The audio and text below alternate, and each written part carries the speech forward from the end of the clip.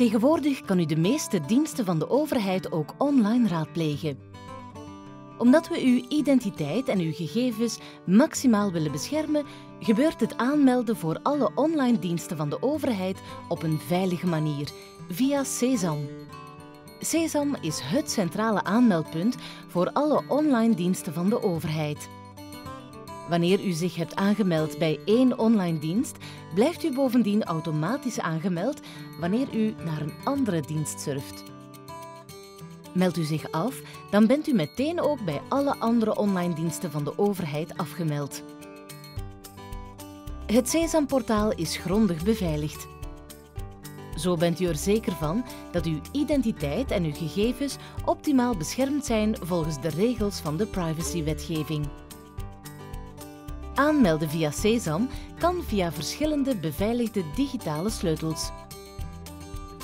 Elke burger heeft een elektronische identiteitskaart of EID. Aanmelden met uw EID in combinatie met een verbonden kaartlezer is de standaard manier om op een pc of laptop toegang te krijgen tot de online diensten van de overheid. Op uw smartphone kan u zich ook aanmelden zonder EID, met een digitale sleutel van een erkende partner. Momenteel kan dit met de It's Me-app. U kan zich op uw smartphone of tablet ook aanmelden met behulp van een beveiligingscode die wordt gegenereerd door een mobiele authenticatie-app. Wanneer u geen smartphone heeft, kan u een beveiligingscode ontvangen op uw gsm via sms. U kan ook opteren voor een token. Dit is een kaartje met 24 beveiligingscodes.